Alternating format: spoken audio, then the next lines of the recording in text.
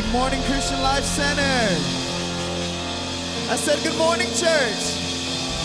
How are we doing this morning? Can somebody give a shout of praise in this place? Who's excited to be in the house of the Lord? Let's put our hands together like this.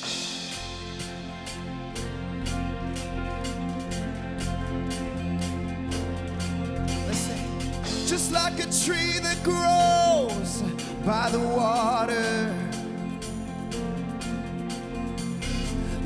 strong winds blow, I will not move.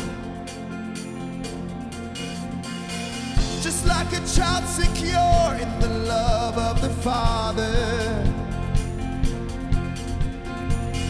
Never letting go, I cling to you. Come on, let's declare in every situation. In every situation. No room for fear and doubt no matter what.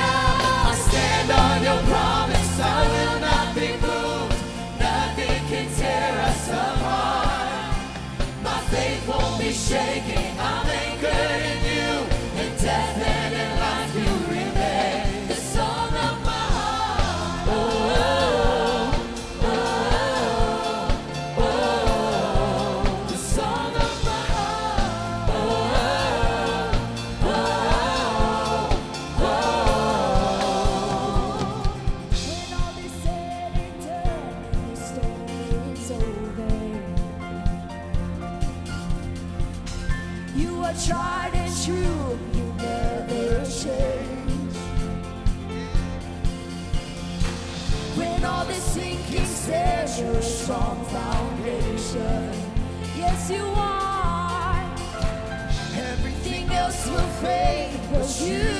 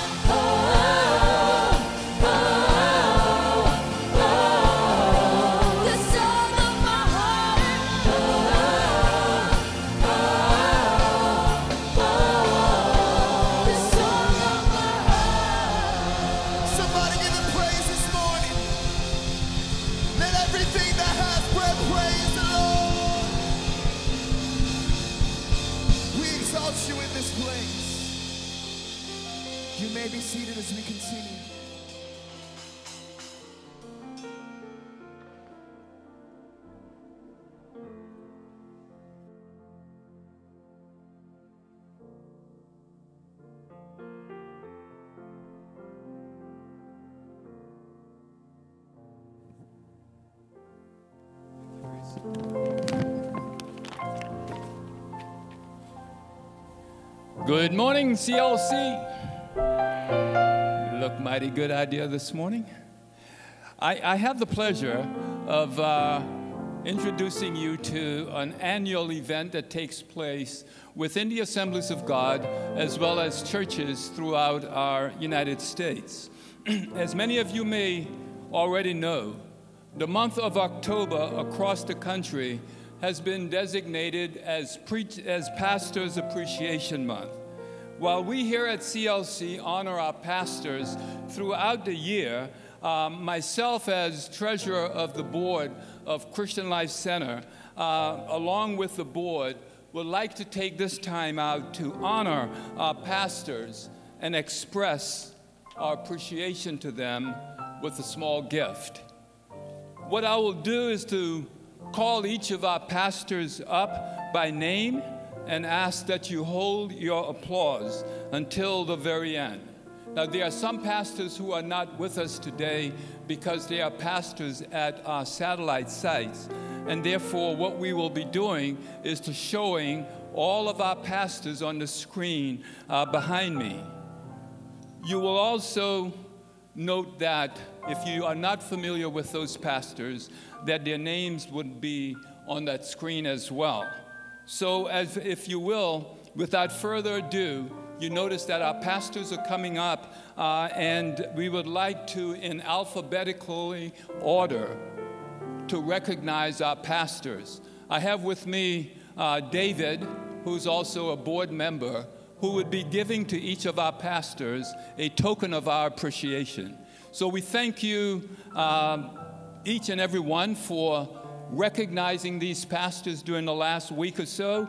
And today we would like to begin by having Pastor David and Michelle. Pastor David. I told y'all not to clap. I had to get that out, I'm sorry. Uh, Pastor David and Michelle, they are the discipleship and spiritual formation pastors. Next, we have Pastor Eric and Jessica, who are the Surge Kids pastors. Pastor Fabiana and Chris, youth ministry. Pastor Kevin and Deborah, music and vibe young adults.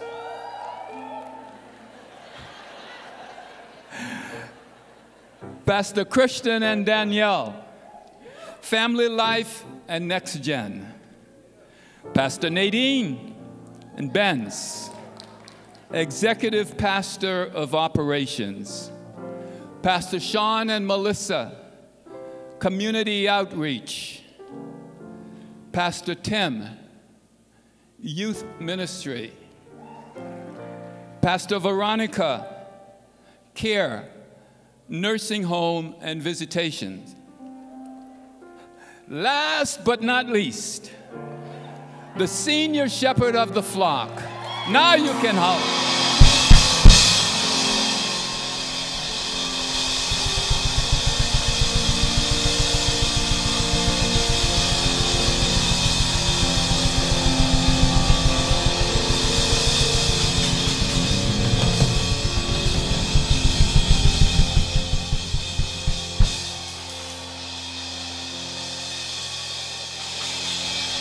Very good.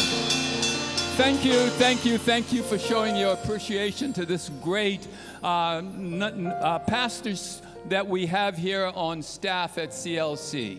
I believe of all churches, we are most blessed to have pastors such as these. Amen. So, so if, since you have already given them their, your, your exuberance, I would ask that you stand as we now pray uh, for our pastors.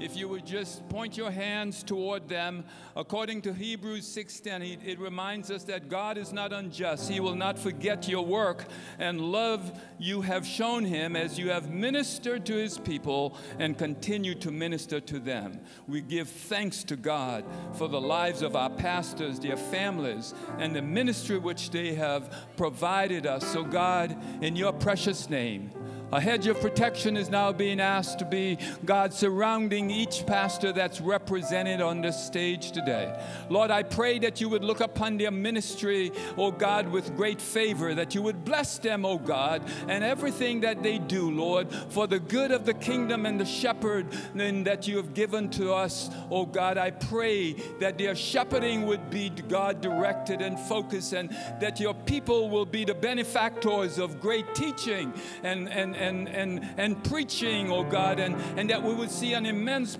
salvation within our midst as a result of the work of these pastors. Lord, have mercy upon them. Bless them in their coming and goings. In the precious name of Jesus our Lord. Amen and amen.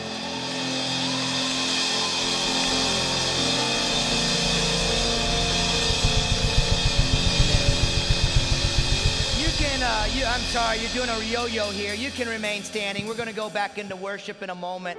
But on behalf of the pastors, first of all, we want you to know how much we love you as a congregation. And it is an honor for us, it's a privilege. We thank you for appreciating us and honoring us. But it is our honor and it's our privilege to work among you, to minister among you, and to allow God to do what He's going to continue to do. You know, for years I've prayed that God would help us to love you as a congregation. That we would love you like Christ loved the bride, we would love you. That we would be able to share God's word with you. We would preach the word with an anointing that enables you to understand and live out the truth of His word. And that God would give us passion to do what He's called us to do, to make a major impact, to make a, uh, make a difference in this world, especially here in South Florida. And we have a phenomenal pastoral team that serves you each and every week, and we love them. It's a joy to serve with them. Uh, honestly, they uh, enable us to do as a church what we do. Pastor Candy and I's part is a very, very small, small part, and what they do is huge in advancing the work of the kingdom. And what I love about our pastoral team is we come from all over the world. I mean, we're uh, we have eight different nationalities on our pastoral team. We have Americans. Uh, Eric is Greek, uh, so we have a European. Uh, Jessica is from Puerto Rico, so Puerto Rican. We have a Brazilian right here. We've got a Haitian right here. We got another Puerto Rican, Colombian right here. El Salvador? Peru, Peru, you know, married to a Michiganier, however you say that, I don't know. That's a nation of its own. Another Jamaican, another Puerto. You what? He said he's Haitian. he's a, he's a white Haitian. Another Jamaican. We have a Cuban. A Cuban over at the Spanish campus. We have three three pastors that are not here because they're at our campuses. We have a Nigerian a Nigerian that's over uh, at Sunrise uh, campus, and I'm somewhere in the middle. I don't know where I'm at, but I'm somewhere there. And uh, and I married this uh, this blonde. At least she's been a blonde all my life. And uh, there, honey. and uh, it's just a joy to serve with this pastoral team, to serve among you. And we want you to know that we love you and we're excited to see what God's going to continue to do in the future. Amen. Let's give our team one more time a big round of applause. Our worship team's coming out. We're going to continue to worship, so remain standing as we enter deeper into the presence of the Lord. Are you ready to worship the Lord? Lift your hands, lift your hands. And Father, we invite you right now to just come and move among us, oh God. Move in our midst, we pray. Have your way. Touch us, we ask.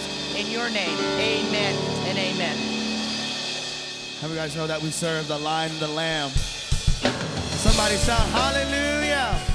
Put those hands together.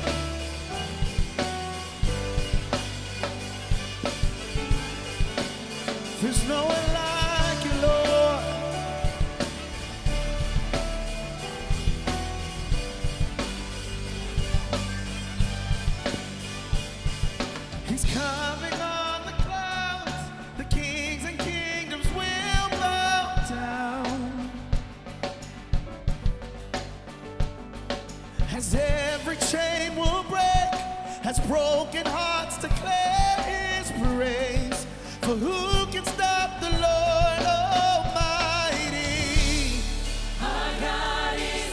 Come on,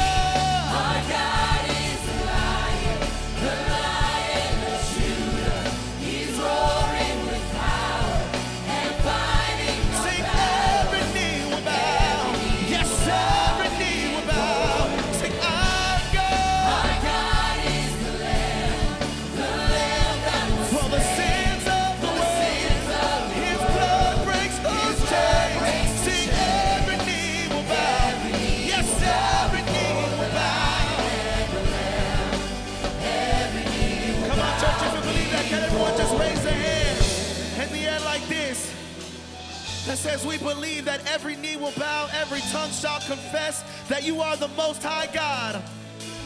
This is why we say, for who can stop the Lord Almighty? Yes, who can stop the Lord Almighty? We say, who can stop the Lord? Almighty?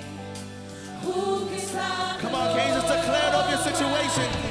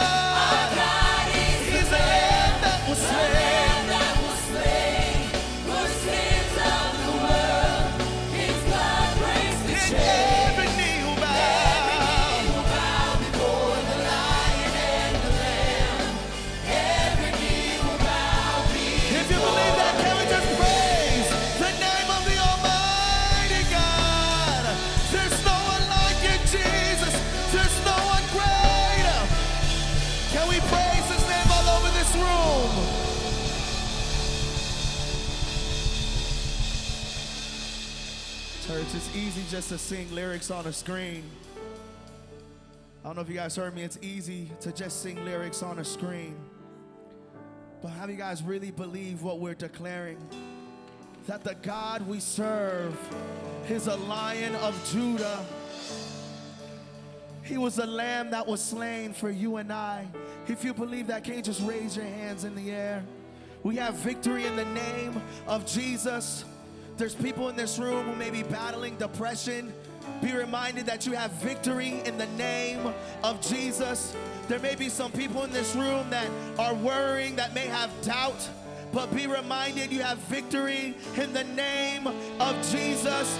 There is people in this room who is sick in their bodies, who has pain in a certain area, but be reminded there is victory in the name of Jesus. There's no one like you, Lord. There's no one like you, Lord. Church, if you believe that, can you just raise your hands and sing this line with us all over this room? We sing, For who can stop the Lord Almighty? Who can stop the Lord Almighty? Church, declare it. Who can stop the Lord? It doesn't matter what the situation may look like. Sing, who can stop the Lord? Who can stop the Lord? Almighty? Say, who can stop the Lord? Oh, there's no one like you, Jesus. Who can stop the Lord Almighty? Say, who can stop the Lord? We worship you, Lord. We magnify your name. There's no greater name than the name of Jesus. There's no greater name than the name of Jesus. Church, can we just worship that name all over this room? In your own way, just begin to just begin to tell them how much you love them, how much you adore the name. Lord, we adore your name. We magnify your name. The presence of the mighty God is here. The presence of the mighty God is here, church. Let us continue to exalt his name all over this room. He's one name that holds way above them all. His fame outlasts the earth he formed. and his praise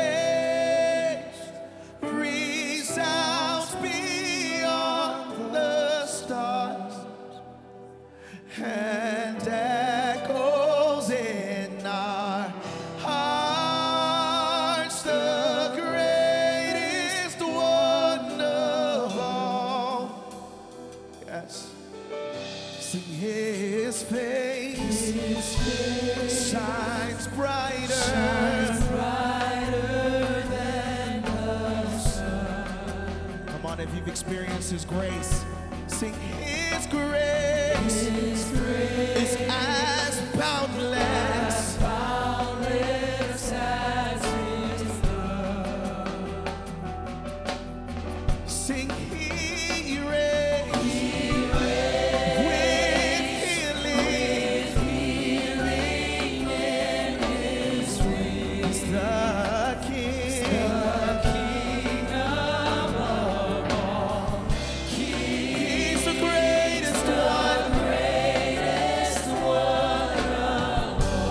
this room, if you believe that, can you just stretch your hands? We sing, lift up our eyes, see the King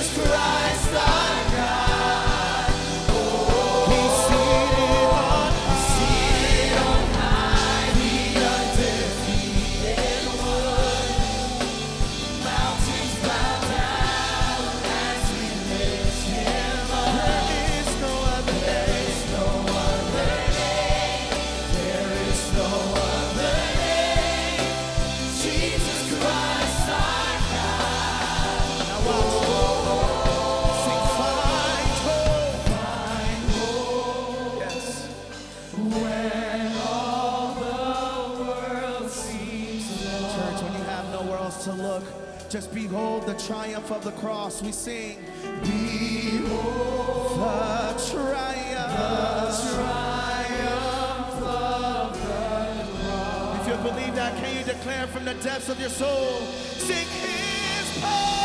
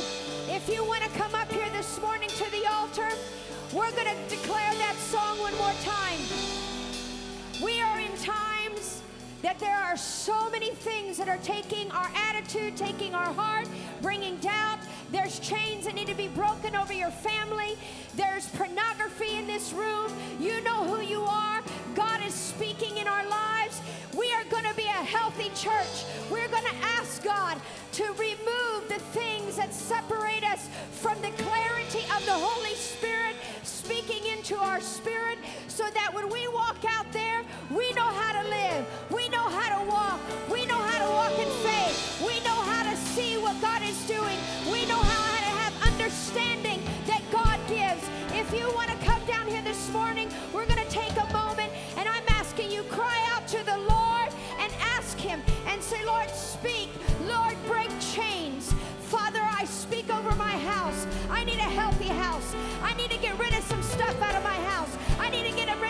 distractions out of my home. I need to know the truth that sets me free. I'm anchored in the Word, and the Word is what brings truth into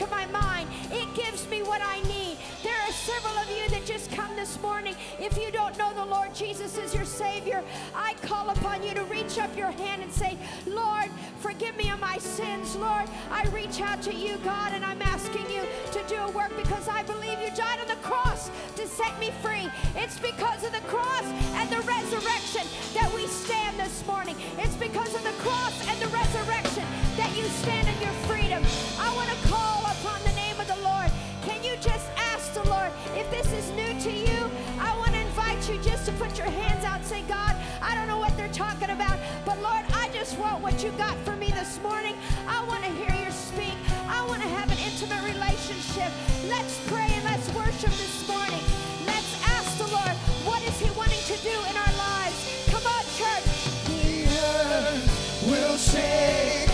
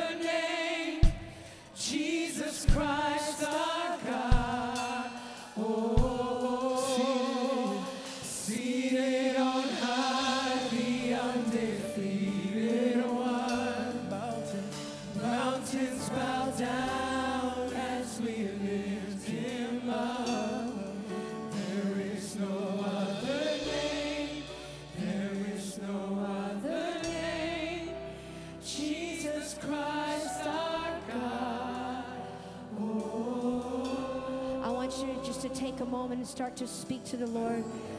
Talk to Him for a moment. Those of you maybe have not talked to the Lord in a long time, I want to encourage you to talk to Him as you talk to your dearest friend. Speak to Him right now.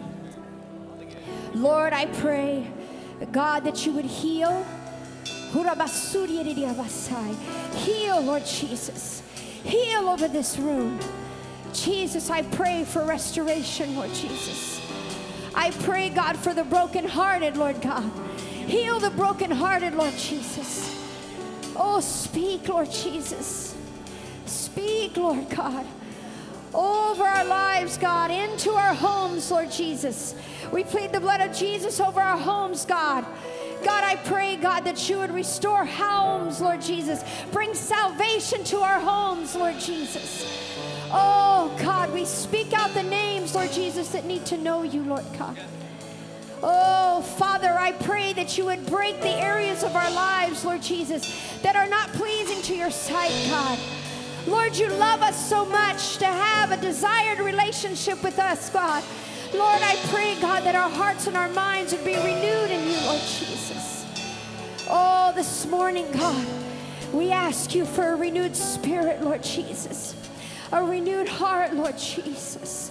Jesus, I pray. Because healing is here. Come on. Healing is here.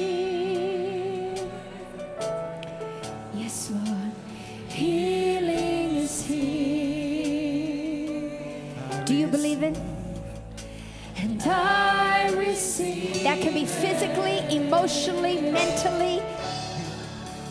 Healing is here. Call upon the name of the Lord this morning. Come on, church. Healing is here.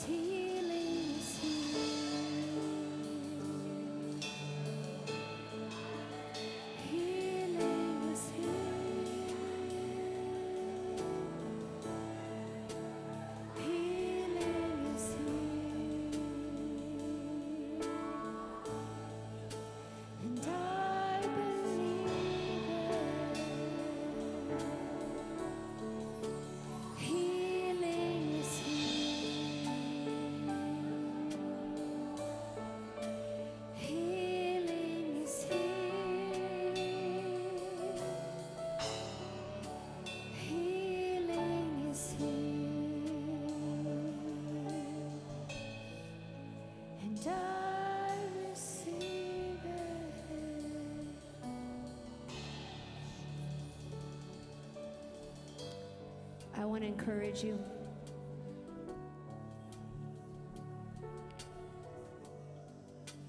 The Lord knows you by name. He knows you before you were born. He knows where you're at, He knows where you've been, and He knows where you're going. And as Pastor Tom has been using this, using the word to be the anchor in your life, I encourage you, encourage you desperately at this hour that what's being shared with you, that you would apply it to your life. If you know that there's areas in your life and you're just needing some help, write down on your on your connection card today and saying, you know what? I need extra prayer in this. I'm believing God in this area of my life. We read those, every single one. We believe and we pray with you. I want to encourage you today that the Lord has something that needs to be spoken into your life today as you understand that what Pastor Tom will say to you, you need to go home and you need to obey it. You need to obey it quickly. Because the snare of the enemy outside that is snaring your mind, you've got to be able to reject it to get your mind focused. Me and another lady today, another lady came up and spoke to me and she said this was the word that Lord had told her and it was the exact same thing the Lord has been speaking. We are in very, very, very perilous times. I've said this and I'll say it again. There's a stench that the enemy has been released to allow to where our minds and confusion can come and misdirection and misguidance like never before. And the Word of God has to go to another level in our lives. The Word of God has to be memorized. The Word of God has to be the truth that anchors because that's how you're going to have a clear mind. You're not going to be confused. You're going to have understanding. I want us to believe that today. That the Lord loves you enough to know that He sees everything and He desires to work in a miraculous way in your life. But obedience is necessary. There cannot be one way or another. It has to be right on target. You have to be extremely, extremely careful because these days and hours are very, very dark. And I pray, I want us to agree together over our homes right now. You just agree with me. Father, in the name of Jesus. Lord, I just petition angels, Lord, to our homes. God, I ask you that you would stand. God, that you would convict us, Lord, if there's anything, Lord, any wayward way, that God, we would we would find our lives being anchored like you've called us to in your word. Lord, that we would be a healthy people. That God, that our lives would be enriched by your spirit and our guidance would be in our heart and our mind directed towards you, Lord. So that, that we would see what you desire to do. We would see those promises come forth in our lives, Lord. Not the way of man, but the way of God. Lord, that's going to look differently. It's not going to look the way that man has said it, but it's going to look differently. And I ask you, God, to help us to miraculously open up our hearts and our minds to receive what you desire to do in us today. Healing and broken, Lord, broken chains in our lives are what we desire, Lord, so that we can walk in the fullness and the richness of who you are. In Jesus' name.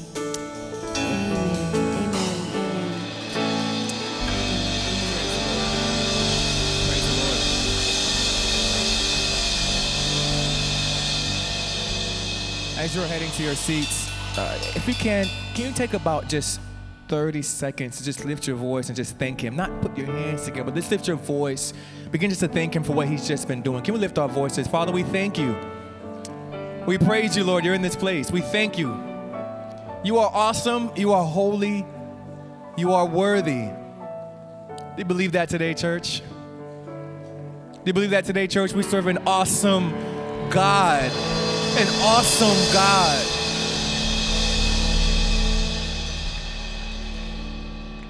Thank you. Thank you, Lord, for just gathering us here. Now, just so you know, here at Christian Life Center, we don't want to just do church, but we really want to experience God. Amen. I do hope and pray you've already been sensing His presence. So I'm going to get through this section really uh, as quick as I can because I do believe that Pastor Tom has a powerful word that is just right on time for this uh, week specifically. So um, uh, I, I welcome everybody to Christian Life Center. I'm Pastor Kevin, one of our staff pastors. But particularly, if you're visiting here for the first time, can you just give me a wave just so we can acknowledge you and thank you for joining us? Thank you so much for joining us. We hope and pray that this wouldn't be your last time. But as uh, just before we move on in that section there, can everyone go ahead and just grab their bulletins and grab the connection cards inside of that bulletin at this time as we move forward? Those of you who are visiting here for the first time, first of all, thank you for coming. We have actually some information that we'd like to give to you, and we even have a free gift that we'd like to personally give to you. If you're interested in receiving some more information about Christian Life Center, and even see how you can, how you can, um, you and your family be a part of our church at the end of the service, head out those double doors to your right. There's an open area called the Connection Center. There'll be some leaders there just to greet you. And in exchange for that card that you're filling out at this time, we'll be able to give you information about our church as well as that free gift that I just mentioned. But in order to get that information, those of you who are here for the first time, please fill out that card completely, entirely with your name and information on it. Now, those of you who are regular attenders and members, that connection card that I actually grab as well, just print your first and last name on it, letting us know that you're joining us today. And if there's any changes in your contact information, please make uh, those changes accordingly so that we have the best way of contacting you and keeping you updated what's going on here at Christian Life Center. Once again, welcome every person here in the house of the Lord. Why don't you touch your neighbor? Say, I'm happy to see you in the house of the Lord. All right, touch your other neighbor. Let them know I'm happy to see you in the house of the Lord. Just two quick announcements I want to give, and then we'll go straight into the offering. Um, first of all, we have Light the Night coming up uh, next week. Anyone excited that God gives us the opportunity to impact our world? We have Light the Night next week we actually need your help. First of all, if you have candy or you're able to donate candy, we need you to be able to drop that off here at our campus so that we can have enough candy to distribute to those families that or those kids that will be here on the campus. If you do not know what Light the Night is, this is our opportunity to light the night for Jesus Christ. And it's not just candy we're giving out, but we're giving out the message of hope. We're preaching the gospel so that families and kids can hear the gospel and get saved and be able to experience what we get to experience on a weekly basis. So please, please, please, please, if you can, can donate uh, some candy so that we can be able to have enough to facilitate that evening. If um, you want to know how you can be a part of that evening or serving that evening, if you have not already signed up through your life group, I want to encourage you if you would grab your connection cards and on the right section, you can place LTN, which stands for Light the Night. We need lots and lots of help. We're actually praying that God will give us over 600 volunteers, right? 600 volunteers we need uh, and more because we're going to be needing people with, um, uh, with friendly faces to help welcome families and be Jesus' hands and feet extended to the many families that will be presented here on that particular evening. We need help with registration bounce houses, these different things to be able to help every family that comes on our campus feel welcome and proper, properly be ministered to and cared for. If you're interested in serving on that evening, please place LTN on the connection card, which stands for Light the Night, and we'll be able to reach out to you to let you know where we can use your help, and you can help us to be able to facilitate the families or, or help and care for the, the families that will be here on that campus. Last but not least, if you are a business owner, we have an amazing opportunity for you.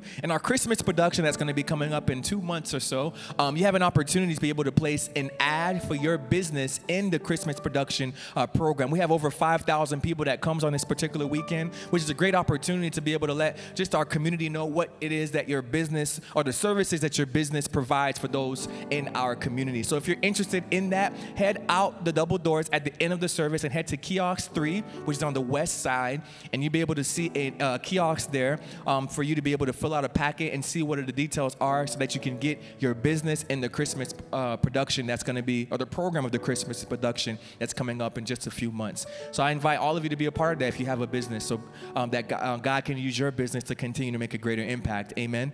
Uh, just, just for sake of time, um, we're going to go ahead and just uh, ask the red carpet team to uh, head down so we can go straight into the offering. How many people know that God has called us all to be kingdom builders? Anyone grateful to be a kingdom builder? Quick story I want to share with you really quickly. Um, there was a woman, actually, she. Um, this year, God had opened a specific door for her to now have a new role at her job, and she doesn't want to disclose uh, her name, um, but to have a, a, new role at her job. And um, she took on the role and took on this particular job. And what was crazy is at that same time, it was actually the same time that we were going into the financial fitness series. How many people were blessed by the financial fitness series? Amen. So now, at this particular time, she was praying on her heart because she was already fa- um, tithing 10% was as far as what else could she do? And the Lord placed upon her heart to tithe 12%. Wow, faith, right?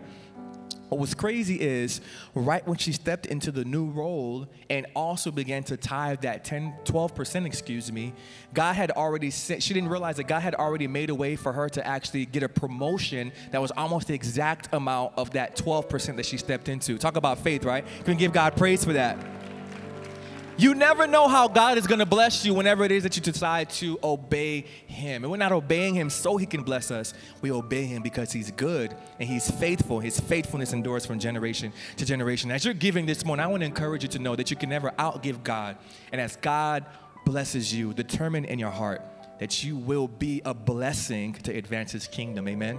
There's many different ways that you can give this morning. You can give by way of text, or you can give um, by way of uh, uh, the envelope that's in the rack in front of you. Um, I just want to encourage you, whatever the method is, let it be from your heart as as worship unto the Lord. Amen. So let's go ahead and go before the Lord in prayer. Father, we thank you that you have given us this opportunity to give. We give cheerfully because we know you that, that you love a cheerful giver. So, Father, we give uh, uh, out of obedience to you, trusting that you would bless us to be a blessing. So, Father, I pray for that person who took on the tithe challenge that's still waiting to be, uh, waiting for you to come through for them. I pray that they would not lose hope. They would not get discouraged because, Lord, every good and perfect thing comes from you, Lord, and you will bless those who obey your commands. And those who are on the fence about it this morning, may they give knowing that all the glory is given to you, and even what they receive is for your glory. We pray all this and we pray you would multiply this offering. Use it to advance your kingdom. In Jesus' name, everyone say, Amen. God bless you as you give this morning.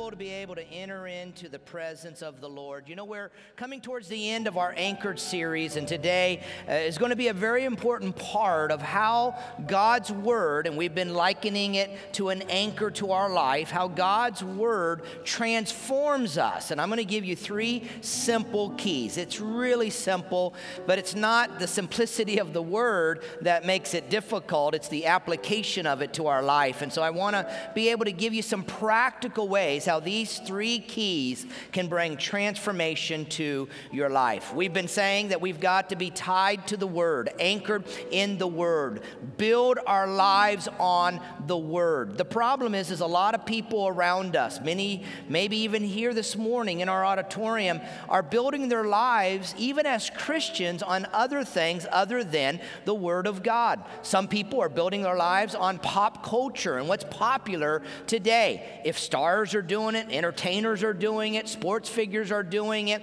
if everyone else is doing it, then it must be popular, it must be right, is the philosophy and the mindset. But that will not last. It will not enable you to be what God wants you to be. In fact, the Bible says don't follow the crowd in doing wrong, because when we follow the crowd in their doing wrong, it's going to lead us down a wrong path. So just because everybody else is doing it doesn't make it right. We know. Or some people, because they've always done it a certain way, because they grew up doing it a certain way. We allow tradition sometimes to be the things that dictate, especially when it comes our, to our relationship with the Lord and how we connect with God and serve God. But tradition isn't always right. And the problem with tradition is it doesn't last either. And that's why we're saying you got to be anchored to the Word of God. Some people, they follow their, re- their reason, their, their logic. If it's reasonable, if it seems logical, if it seems right, then it must be right. And they start building their lives on that which is reasonable. Now, let's be honest, most of us have gotten caught in this trap. We begin to plan it, we strategize it. If you're someone that likes to be in control of things, you're plotting, you're working. If you're a C personality, everything's got to be lined up, you got to figure it all out. It's got to be reasonable, it's got to be logical. It's not logical sometimes, and we won't do it. But God works with us in faith, God moves with us in a spiritual realm. And can we be honest? The spiritual realm doesn't always make sense to us in the natural realm. And so just because it's logical doesn't mean that it's right. The problem with that kind of um, uh, that kind of uh, uh, you know reason of how we live our life and how we make decisions and things like that is that our reasoning is not infallible. We can make bad decisions. We may not have all the facts. We may not see how God sees, and that's why we're saying the more we get anchored in the Word and get into the Word and tie our lives to the Word, it will change our lives. And then some people, and this is a very important one, they're driven by emotion. They allow their emotions to drive them, and they're building their lives simply on how do they feel. If it feels right, do it. If it feels right, it must be right. But the problem is, again, is our feelings will lie to us. In fact, can I tell you, you lie to yourself more than you lie to anybody else.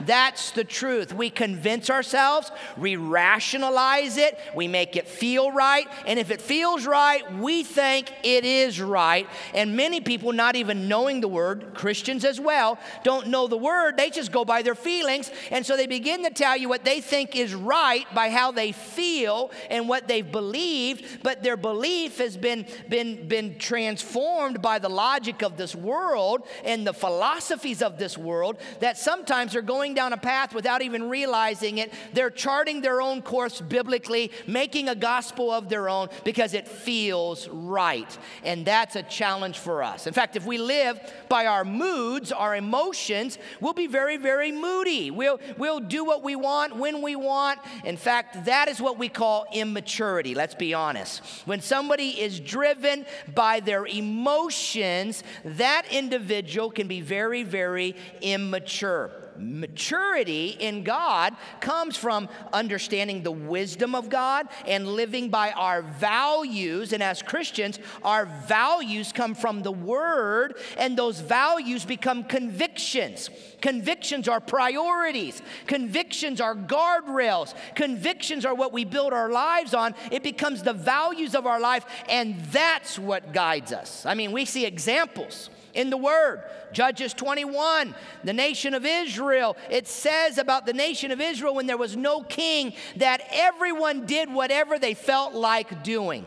And boy, even though we have presidents and prime ministers and, and politicians, it feels like today everybody's just doing whatever they want to do, right? If they don't like it, watch out. You're in trouble. I'm in trouble. Someone told me last night, Pastor, I don't even drive anymore at night because it scares me to be out at dark. I mean, we're living in a world that makes it very, very difficult if we don't understand what our values are, what our convictions are. And therefore, this whole series has been a series of helping us learn how. Not just telling you you should, you know you should be anchored to the Word. You know you should read the Bible. You know it's a good thing. You know it'll bring change, it'll bring direction, it'll bring wisdom, it'll help you in temptation. You know that. The problem is, is we don't know how to. We don't know how to get anchored in it. We don't know how to understand it. We don't know how to get life out of it. So every week we've been trying to help you to understand how to look into God's word and let it change. And today, how to transform you.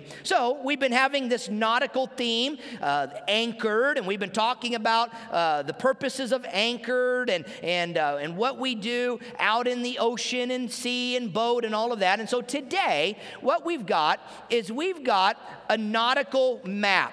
Now, a nautical map is very different than other maps. Now, many of you don't even know what a map looks like anymore. All you have is your GPS or Siri on your phone. But this is a map. This is what we used to read uh, when we would uh, like have to drive somewhere. And this is a boating map. And what's unique about a nautical map? You can't see it here, so we've got it up on the screen. And uh, what's unique about a nautical map is it's very, very different than just looking at a map of the ocean because a nautical map it maps out the waterways and the ocean. And it begins to show you information, information that's very, very helpful for a boater. It shows you the channels, it shows you the depth of water. These numbers show you depth of water. It begins to show you where the markers are. It'll show you uh, uh, longitude and latitude. It'll show you where the reefs are. It'll show you where wreckage is, even where, where right off of Pompano Beach here. There's a wreckage there, and you can go snorkeling out around it. The, the nautical map will show you that. It'll show you danger areas, it'll show you distances from one place to another place. Now, a boater will not make a long distance trip without studying the nautical maps, knowing where he's going, and while they're out there, they'll keep an eye on the map. They'll keep an eye on the course that they're charting, where they're going, so that they don't drift off course and they stay in the area that will not be in uh, anyway dangerous to them. Well, obviously, that's what God's word does for you and I. Now, we're teaching you today how do you get the most out of the map of God's Word? How do you study it, look at it, hold it so that it really keeps you on course, bringing the transformation in your life that God desires it to be? In fact, today our memory verse is going to come out of Psalms 119 that talks about God's word is like a lamp unto my feet that will light my path. In fact, eh, uh, many times they would have lanterns, uh, lanterns obviously that would help them to study the charts, and maybe uh, the media team and, and, and, and, guys can help me. Let me turn on my light here. And uh, we would have lanterns, and as we would turn on the lanterns, uh, they would be able to study their charts at night, keeping an eye on the charts. You see, that was the problem with the Titanic, is they, they didn't pay attention. And God's word says, listen, my word is like a lamp unto your feet. I mean, how many times have you gotten up at night and you've stumbled across the room, stubbed your toe, kicked something on accident because the light wasn't on? I was out boating a few weeks ago with a, with a few of our team members. We were out there fishing. I was actually with Pastor Sean over here. Pastor Sean, I'm telling you the truth, not a fishing story. He caught such a big fish, it snapped the fishing pole in half. I mean, literally just snapped it in half. I don't know what it was, but it was big. And we were trying to, you know, string the line at night night when it got dark, and we didn't have a light, we didn't have a lantern, and we couldn't see. Well, God's word is a light unto your path. It guides you, it leads you, it enables you to chart out a course in your life that will keep you out of the rocks, will keep you out of danger. Some of you, if you would have followed the word of God in your life that you knew growing up, that you studied as a long uh, uh as a young person, if you would have stayed on the path and continued to let God's word light your course, you wouldn't have landed into some of the decisions and some of the situations that you did. And that's why God says we've got to allow His word to be a light unto our path. Can I hear an amen in the house? So let me turn that off so we don't cause any problems here uh, uh, as we're looking deeper into the word today. So, my anchoring scripture is Psalm 119. Psalm 119, I want us to look at it because it really helps us to understand this transformation that comes out of the Word. Now, I have it in your outline. If, uh, uh, if you don't have your Bibles or if you want to click in your devices uh, or turn over, Psalm 119, we're going to read a few verses, starting in verse 97. Psalm 119, verse 97 from the NIV translation. The psalmist says, Oh, how I love your law. Can I hear an amen? The law is the word of God, it's the scripture of God's word. I love your law. I meditate, circle it on it day all day long. Your commandments, your commands make me wiser than my enemies, for they are ever with me. I have more insight than all of my teachers, for I meditate on your statutes. I have more understanding than the elders, for I obey your precepts. I have kept my feet from every evil path so that I might obey your word. I have not departed from your laws, for you yourself, uh, for you yourself have taught me. How sweet are your words to my taste, sweeter than honey to my mouth. I gain understanding from your precepts. Therefore, I hate every wrong path. Here's our memory verse this week Your word is a lamp to my feet and a light for my path.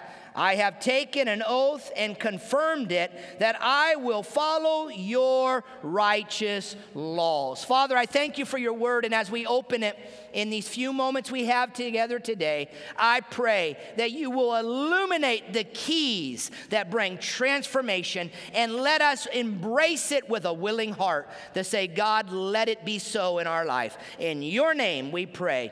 Amen and amen. So today, Three simple keys. It's a simple message that I share with you today. The first key is that we have to meditate on the word. Say, meditate. The key to discovering and applying scripture to your life is meditation meditation of the Word. Now, I'm not talking about, you know, uh, meditation like maybe the world does it. In fact, today we're going to give you some ideas on how God shows us in His Word that we meditate, how we take a passage of the Bible and we begin to read it and concentrate on it and apply it to our life where then, as we read the word, if it, it appears that, that we've drifted off course, that we can come back in, that it gives us the information that we need to apply to our life, that we can anticipate danger, look at what's ahead, and we can really, really know what to do as we wor- read the word. Now, the definition really of meditation is digesting in thought, that you're thinking on it, you're processing it, it's beginning beginning to transform you in the innermost being of who you are. That when you read the Bible, you look at a passage of the Bible, that you concentrate on it and you look at it from different directions. The problem for many believers is that they're not taking time to concentrate on the Word. If that's a big question. If they're even having devotions, they're reading really fast. They're clicking off a, a Bible reading plan. They've got the, the, you know, the YouVersion and they're just clicking off passages to make them feel like they're connecting with God. It's not the speed. It's not how fast I can go through the book. It's is the book going through you? Is the book transforming you? Is it changing you? Is it changing your life? And therefore we read it we concentrate on it, we look at it, we glean from it, we apply it to our life, we look to Christ and we begin to ask, Am I reflecting His nature? Am I walking in His path? Is my mind being changed? Is my life being changed? Is my attitudes being changed? Is my character being changed? Is the word going through you? One of the convictions that I have for us is that we're not taking time in God's word.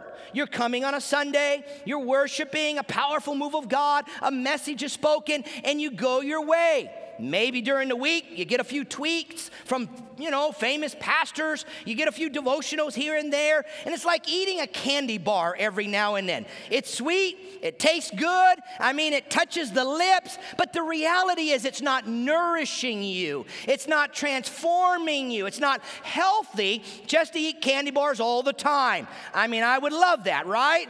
But we know, we know that that's not what God would want when it comes to the word. Now, I love what Joshua says. Look here, Joshua 1 8. Joshua says, Do not let this book, the scripture, the word of God, don't let this book of the law depart from your mouth. Meditate, circle, meditate on it. Meditate on it day and night. Meditate on it, meditate on it so that you may be careful to do everything written in it. Then, so when we meditate, when we concentrate, when we allow it to go through us, and we're going to show you what that looks like today, it says, then you will know what to do. You'll be careful to do what is written. You'll stay on the path, and then your life will be prosperous and successful. God wants you to succeed. He wants you to walk in freedom. He wants you to have an abundant life. How do you live in freedom? How do you walk an abundant life? Is you meditate on the word. You let the word get in you. You let the word change you. You let the word guide you. You get wisdom from the word. Am I in a Pentecostal church? Am I in a church that's hearing me today? Come on. We got to get into the word and it'll help you be prosperous. Why? It's because you're walking in God's prosperity, which is peace. I'm not talking financially. Yes, it'll lead to that when your life is in line, when you're walking in the ways of God, but you'll have peace, and that peace passes all understanding. Amen and amen to that. I love what Paul says. Paul says it another way in Romans 12 1.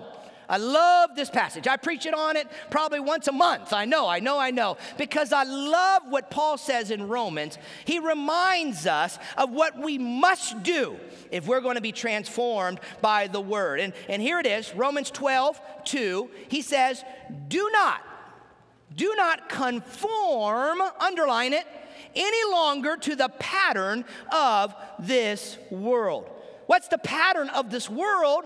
It's, it's the ways of the world. What's the world? Well, it's the ways that uh, the ungodly go. It's the ways of, of, of those that haven't decided to be a Christ follower. They're not walking with God. They're not walking in the ways of God. They're not separating uh, from the sins of the world, and they're walking in the ways of the world. And so he says, don't conform any longer to the pattern of this world. So, what he is saying is that if you're going to be transformed and if you're going to allow the word to transform you, meditation in the word, getting anchored in the word, starts by stopping conformity to the image of the world. We must stop being conformed. Write it down. If you're going to be changed and renewed and strengthened and what God wants, then you must determine and by the way, I've learned that you determine beforehand. You determine before you get into temptation. You determine before you get into situations that you're not going to walk after the values of the world. You're not going to embrace the values of this world. You're not going to adopt them because you're of a different world. You are not carnal, you're spiritual. You're not led by the carnal man, but you're a spirit man that's led by the Spirit of God. Your spirit connects with God's Spirit and that guides you and leads you. And therefore, we've got to be guided. We got to be guided not by the values of the world, but by our convictions by the values of God, by the word of God. And so he goes on, Romans 2 goes on to show us that we are not to conform to the pattern of the world, but be transformed. Underline it, circle it transform, the original word there is it's a metamorphosis. A metamorphosis is taking place within you. There is a change. You see, you don't clean up the outside and then come to Christ. You clean up inwardly. You come to Christ and let a metamorphosis take place, a, a change take place. Every time I read this passage and I talk about transformation, I, I can't help but think about the old farmer that came to the big city for the very first time.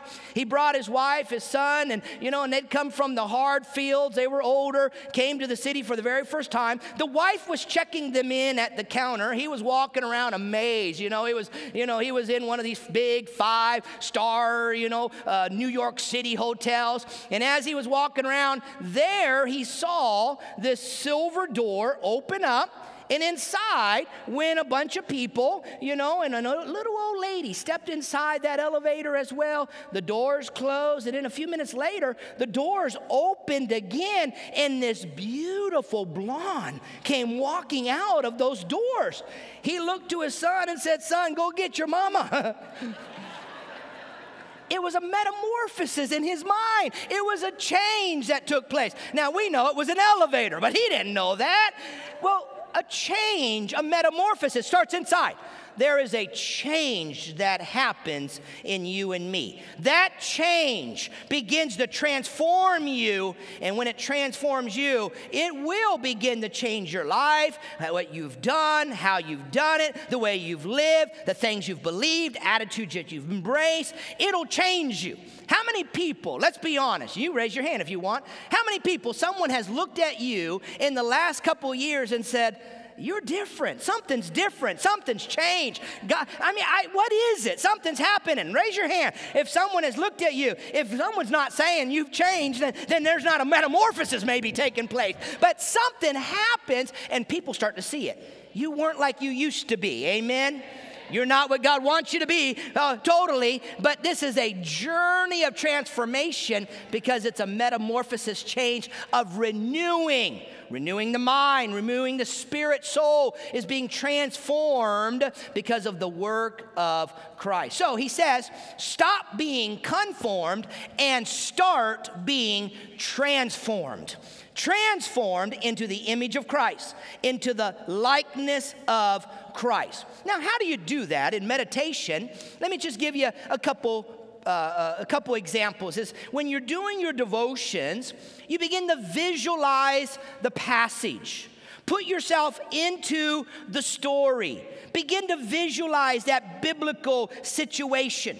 Maybe take on the character, one of the characters that are in the story. For example, if we're talking about the woman at the well, ladies, put yourself in her shoes. Put, her, put yourself there when Jesus says to her, You've already had five husbands, and the one that you're living with is not your husband. Put yourself there and how you would have felt, right? The, the condemnation and the feeling. You put yourself there, and then all of a sudden, Jesus begins to speak through all of that guilt, shame, and that's what he does, right? He comes to us, he speaks through your guilt. He speaks through your shame. He speaks through your condemnation. You put yourself in the story. Guys, maybe put yourself in the shoes of the disciples. You come back, and Jesus is talking to a woman that in that time would have been unacceptable for him to be talking to. All of a sudden, you begin to picture yourself in the story. I picture myself as a pastor, as a leader. I picture myself in what happened afterward.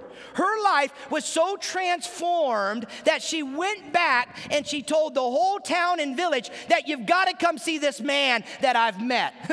now, those ladies were probably thinking, another man? You've already had five. You're living. Where's my husband? Where's, where's my husband? You know, uh, you know this woman. I mean, those ladies were probably thinking, "What are you talking about?" And sure enough, though, they came and God transformed their life. And they said to the woman, now we believe not because you say so, but because we've experienced it ourselves. You see, all of a sudden, you put yourself in the story, and when you put yourself in the story, it begins to transform you. But if you're doing a quick read, you're not observing like we talked about. You're not, you're not interpreting. You're not applying it. You're not taking time to digest it. Thoughtful thinking, it doesn't transform your life. It takes time. If there's one key word in this message today is don't rush your time with God. Take time with the Lord. Let me use another illustration here. Your life Let's say your life is like this water that I'm pouring into this floor everywhere. Sorry, Miss CEO over here. COO, pouring it all in here. So here we go. Now, your life is like this water. Now, if this represents spending time with the Word, like these tea bags, if you just dip in to the Word, it doesn't have much change in your life. Some of you are just dipping into the Word. You'll have a few tweets, few social posts. You'll look at a few things that others say. Maybe, maybe you even listen to a little bit of Pastor Tom's preaching when you're not here just a little bit, and then you pop back out. It doesn't have the impact, a little bit of impact. And the problem is, and this is what I'm concerned about as a pastor is we've gotten used to this as though this is normality. This is what God desires. This is not the kind of transformation that God wants in our lives. There's so much more that he's desiring. There's a whole nother level of transformation that he wants to transform you by the renewing of your mind. You see, a little dip here and there, it's not going to transform you to the place, and you'll continue to be conformed to the world. So, what we're trying to do is we're trying to teach you how to soak in the Word, how to get into the Word, to let the Word change you. You come to a worship service. You go to a life group. You do your devotions, right? You come to a night of worship, right? You get into the prayer times. You get into the Word of God in your devotions. You soak in His Word. And when you begin to soak, look, it begins to transform. And that's what God wants. So, Open your Bible, reflect on it, pause, pray, allow God's word to change you. Don't be in a hurry. Maybe have a little journal or study book where you write some thoughts down. You've got to, first of all, meditate on the word. Secondly, write it down. If we're going to be transformed, it requires us to memorize the word. Memorize. Now, it just got really, really quiet. No, Pastor, we're writing our notes. Nah, this is a missing discipline of the faith. Memorizing the word. The Bible says in Proverbs chapter 7 guard my words as the most precious possession. Write them down and awesome, keep them deep within your hearts. You see, transformation comes when the Word of God is in you, not just in your pocket, not just in words on a book, but it's in your heart. It'll help you make wise decisions. It'll help you when you're stressed, when you're pressured. It will guide you and lead you. It'll comfort you. Psalms 119, we read it, verse 11. I have hidden your words in my heart. Why? So that I will not sin against you. The word of God in you will help you fight temptation when the enemy comes at you. You'll pull the word, just like Jesus pulled the word in the desert when Satan himself was tempting. He brought the word. He brought the word. He brought the word. How do you fight the enemy? You bring the word. You bring it up. You bring it up. You bring it up. And it comes up when you've memorized it. It comes up when it's in you. It comes up because you've meditated upon it and it's there to help you. In fact, the Bible says, always be prepared to give an answer to everyone who asks you to give a reason for the hope that you have. To be ready to give a reason, an answer of the peace that you have. How do you do that? How do you give a word? Someone the other day, uh, we took our pastors on a retreat, and one of the waiters said to us when he found out we were pastors, he says, You know, my roommate is an atheist, and, and, and, I, and I need to know what to say, and I don't know what to say. And he was struggling. He was a young believer. He said he grew up in the church, but you could tell he was a very immature believer in not knowing the word. But when the word's in you, you don't struggle. When the word's in you, someone's walking through something, you release a scripture to them. You give them life, and you don't say, Oh, let me go study my Bible and find find an answer and come back, it's already in you. It's life, it's active, it's coming alive, and it's coming out. And so you got to memorize the scripture. So I want to give you a couple of tips on how to memorize since this is a lost discipline. We are not memorizing the word like we need to. So, first of all, I want to encourage you on the back of your outline are 20 verses every believer must know. They're easy verses. You must know them. You must memorize them. They must be on your heart. They must be there. They must come from your lips. You must very easily be able to speak it uh, uh, in your spirit. I want to also say, I would encourage you to also memorize every scripture that would help someone learn, help you to learn, and help someone to know how to meet Christ. Learn evangelism scriptures, learn the Romans road, learn how to share your faith because you don't have time. When you're in the elevator, when you're at a table, when you meet somebody, it's got to come out instantly from you. So, how do you memorize? Well, let me give you a couple tips. We're going to practice here. First of all, you always start with the reference. You always say the reference. Matthew 7 24. Matthew 7 24. Then we say the scripture, we memorize the scripture, then say Matthew 7 24 again.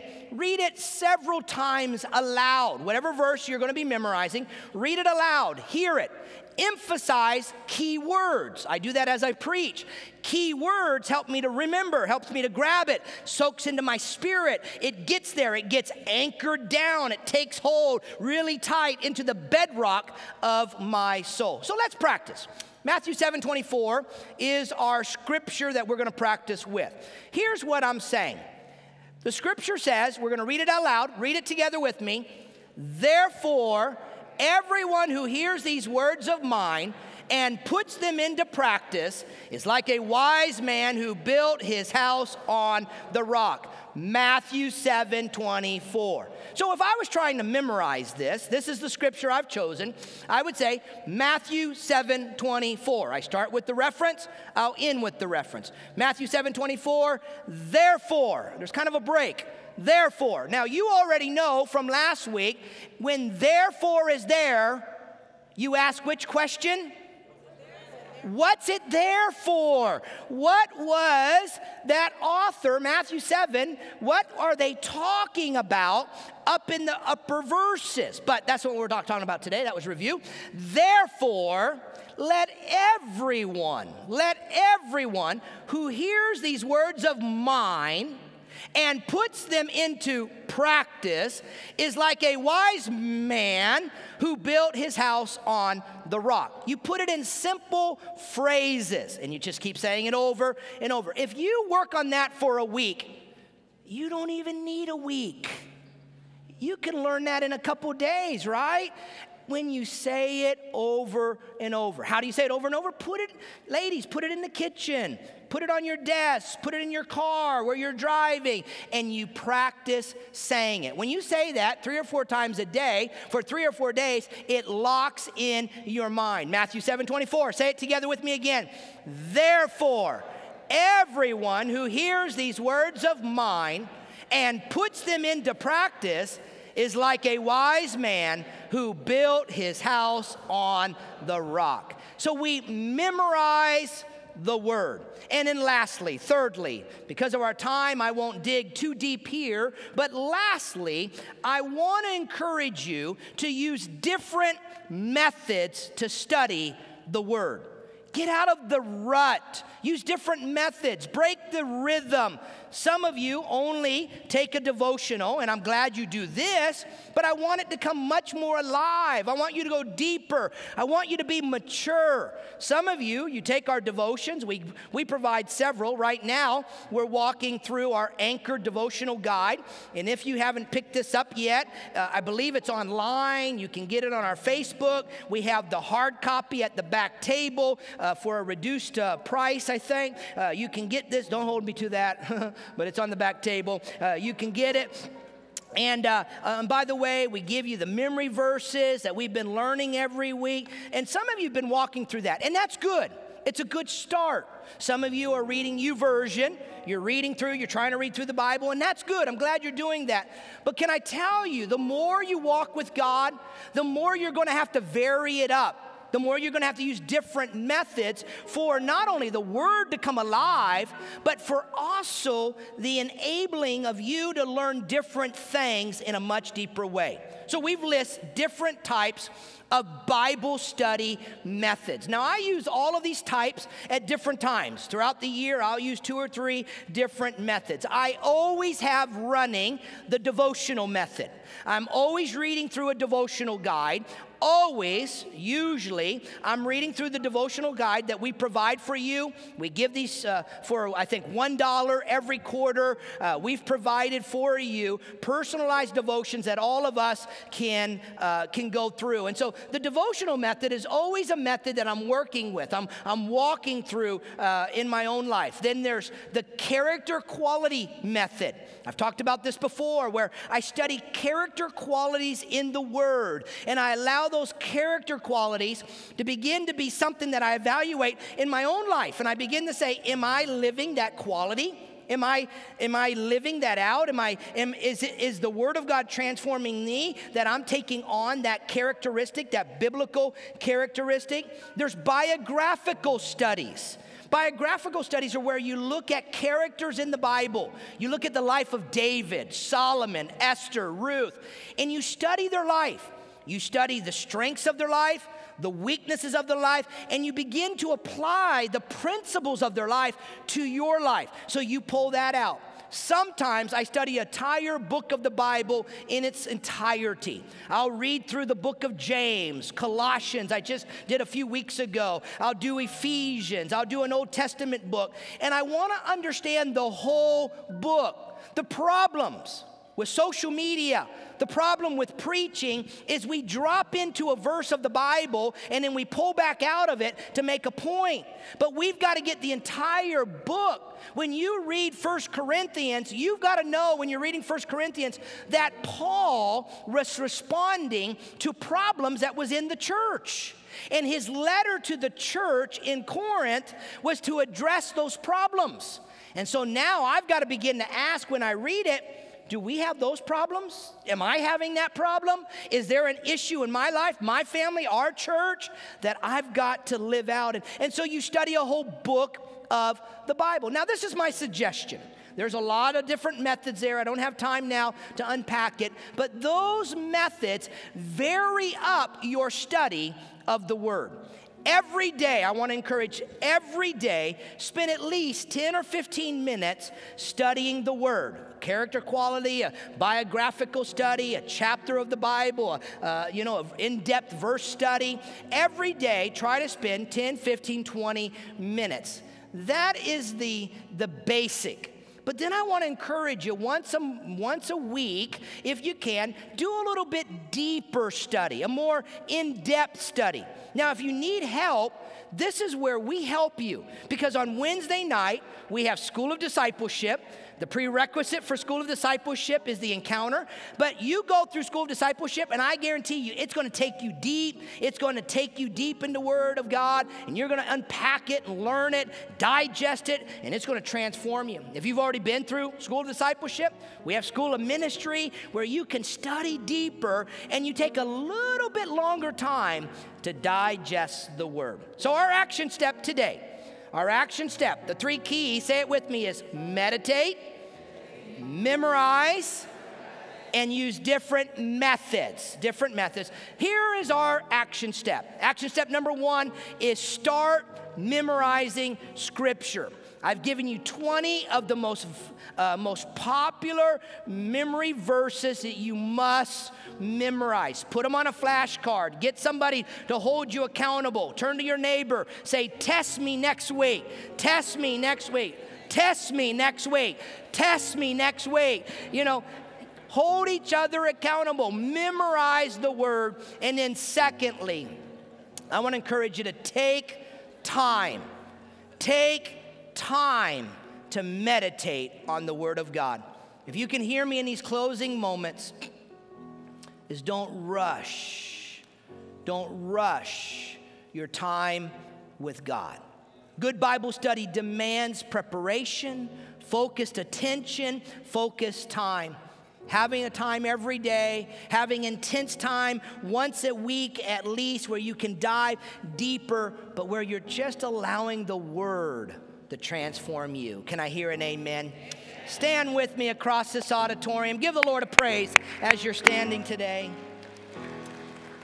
Here at the end of the service, we did the same at the first service. Because of the move of God, which is a little bit, you know, not the norm exactly of how the Spirit moves in our services every week, we're opening some time around these altars where the worship team is going to continue to minister in song. And if you would like deeper prayer, you'd like to just soak like the tea bag a little bit more in the presence of the Spirit. You know, water is likened to the Holy Spirit. And when we soak in His presence, He just begins to flood our soul, our spirit.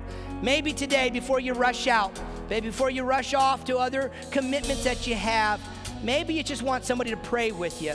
You need to spend a little bit more time connecting with God and letting His Spirit touch you and refresh you, then I want you to know our altars are going to be open. Pastor Candy and her team is going to be here, and we're going to be ministering to you.